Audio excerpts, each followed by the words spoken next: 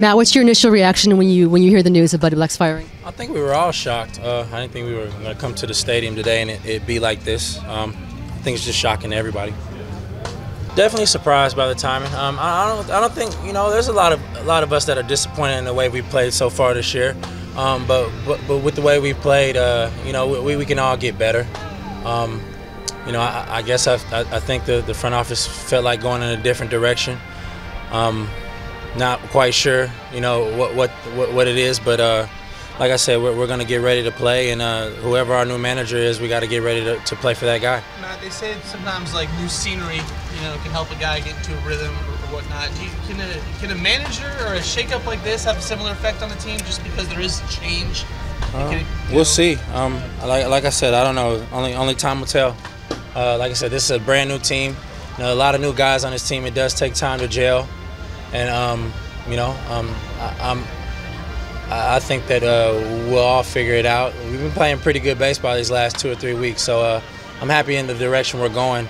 With uh, not of not all of us playing as, as well as we should be playing. We're only I think one game over or under 500. So. Was this play? Was this change needed? I mean, I would say there are a lot of guys in this team that would say it's on the players as well who are underperforming. But was was this change needed to kickstart some guys? No, I, I don't. That's not for me to, to answer. Um, I, I play for whoever I play for whatever manager you know the, the team has and, and, and the front office like I said that's their decision to, to, to make the decision that they made and I, I still got to go out here and perform. How much does a manager you think really affect the, the wins or losses throughout the season? Um, like I said, as, as players, we have to go out here and perform, and we haven't. Not all of us have performed the way we, we should and want to perform. So we got to we got to continue to grind it out and, and, and, and try to be as, as good as we can to, to make the playoffs this year. Uh, I think you know it was it was more shock than anything. We uh, you know we felt like you know we were getting things going. We played you know fairly well this month. Um, you know, but uh, obviously the the, the uh, front office expects a little bit more. Um, you know, I, I, th I thought you know Buddy was doing a pretty good job. So you are surprised by the timing then? Yeah, definitely surprised by the timing. I mean, we we were a couple plays away from you know on this weekend from being four games back uh, or three, you know, depending on how you see the first game. So. Um, you know, I think the guys in here, you know, kind of took it a little bit rough, but you know, being professional, we have to go out and continue to, you know, to play. He's always had a good, a good reputation as a player's manager. Do you feel as though he got the most out of, this, out of guys in this clubhouse? Did guys respond to him rather well? Uh, yeah, Buddy was faced with a tough task of you know bringing in an overhauled roster and, and trying to get him to gel. And I think you know we were we were getting to that point, and hopefully we can continue that. But uh, you know we're gonna have to continue without without Buddy at, at the helm. I mean, I was disappointed. I mean, Buddy Buddy Buddy's a great man, great manager. Um, you know, he did he did everything uh, that we asked him as players to do. Um, you know, and and uh, you know, I, we understand it's part of the business, but um, you know, we're definitely gonna miss him over here.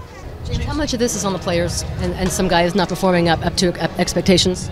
Um, I mean, each, each, each player understands what they have, what they have to do and what they're capable of doing. Um, I don't think it's it's it's necessarily on the players or, or on the coaches or on, on Buddy if, if that. Um, you know, just a decision that the front office made, and uh, we can't control that. We just got to keep doing what we're doing.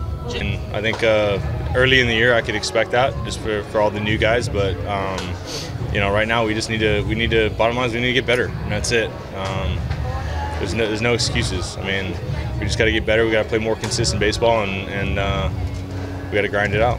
Yeah, I was uh, hanging out the house, and I got the news. Uh, I got a text message to make sure that it was correct, and. Um, you know, I respected Buddy as as a manager, as a person. I know that he did the same thing for me and all of his players. Um, but you know, this is one of the things that it's kind of our business that it happens. Um, you surprised? Surprised by the timing? Uh, a little bit. Uh, we were playing well, um, but you know, it's one of those things where I just got to go out in the field and play and you know, you just kind of you know, we had, we talked with AJ and uh, he told us what his decisions were, and you know we just got to go along with it. We uh, trusted what he put out in the field and what he's done so far with um, with everything so far in the off season. You know, he's a smart guy, so uh, yeah.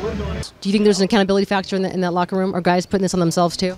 Oh, absolutely. Um, every time we go out there, we try to compete, and you know, like myself included, I've pitched to my uh, capabilities, and a lot of us know we're, we're better than we are. And did you think he was a good manager?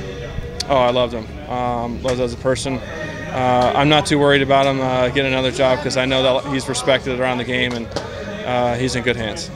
Uh, yeah, disappointed to see Buddy go. Um, you know, understand from an organizational standpoint, uh, I think we need a little little change and um, you know support that, and, and, and they do what they need to do to, to support us to get these wins, and uh, hopefully that's you know what gets us going and, and, and over the hump. But you know, obviously, uh, you know, personally with my relationship with Buddy, you know, sad to see him go.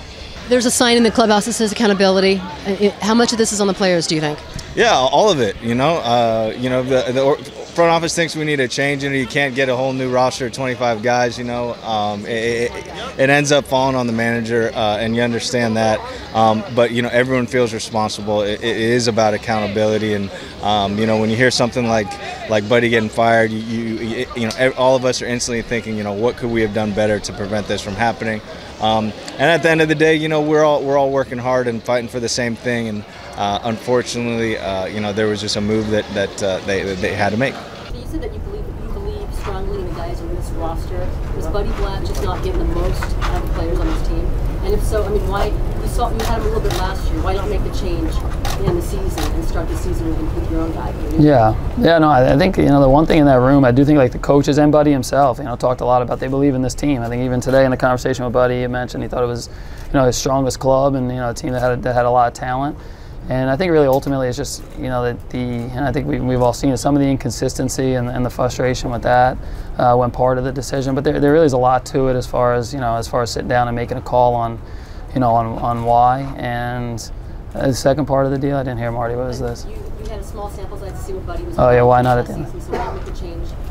Season, so why make the change at the end of the season? Yeah, I I think I think because I thought you know I, I thought Buddy has you know he has a lot of good qualities. You know he had a lot of good things that he brought to the game. I wanted to give him an opportunity to take a team with you know potential a little bit more talent and you know and, and see if, if you know he could run with that kind of club. And you know last year when I came in here, it was a chance to get you know kind of get around guys, and I still.